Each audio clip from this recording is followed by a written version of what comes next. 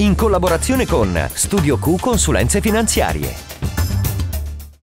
Con Antonello Cattani parliamo della nuova emissione del BTP Valore. Nelle scorse settimane è partita la campagna pubblicitaria e l'emissione del nuovo BTP Valore con scadenza 2030. Ci potrebbe illustrare le caratteristiche di questo strumento? Sì, diciamo che questa, anche questa ultima emissione ha ricalcato quella, quelle, le caratteristiche di quelle precedenti, ovvero la durata del, del BTP è 6 anni eh, la cedola è trimestrale, quindi questa è un po' la novità introdotta dalle ultime emissioni e ehm, il meccanismo si è detto step up, ovvero crescente, infatti i primi tre anni la cedola è del 3,35% e eh, gli ultimi tre anni del 3,90%. In più viene riconosciuto il bonus fedeltà come nelle precedenti emissioni dello 0,80% per tutti i sei anni. Su questi eh, rendimenti dobbiamo togliere la tassazione che attualmente è del 12,50 per i titoli di Stato, quindi diciamo che le caratteristiche sono simili alle precedenti edizioni.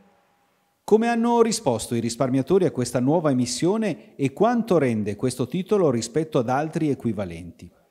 Diciamo che le richieste sono state sensibilmente inferiori, si parla di 11 miliardi più o meno di richieste contro i 18 dell'ultima emissione precedente di aprile, ovvero un meno 38% circa. Quindi la richiesta è stata sensibilmente inferiore eh, le motivazioni possono essere diverse, quindi la durata sicuramente è impegnativa, eh, tra virgolette, perché sei anni comunque non sono pochi, può essere anche una spiegazione comunque il fatto che l'Italia, non dimentichiamocelo, eh, ha il secondo debito PIL, cioè il peggiore debito PIL eh, in Europa dopo, dopo, la Grecia, recentemente c'è stato anche qualche richiamo diciamo, dei vari organismi, vedi Fondo Monetario Internazionale, su questa situazione con l'invito a, a sistemarlo. Per quanto riguarda il rendimento, sconfrontato comunque con altri titoli di Stato, non dimentichiamoci che anche se è una nuova emissione, non è che il rendimento possa essere completamente diverso, diciamo che è qualcosa in più, quindi diciamo che eh, se noi prendiamo il rendimento medio, nell'ipotesi di tenerlo fino a scadenza, che è un 3,70% complessivo, con un BTP già esistente a parità di scadenza, anche con cedole più basse ma con prezzi inferiori,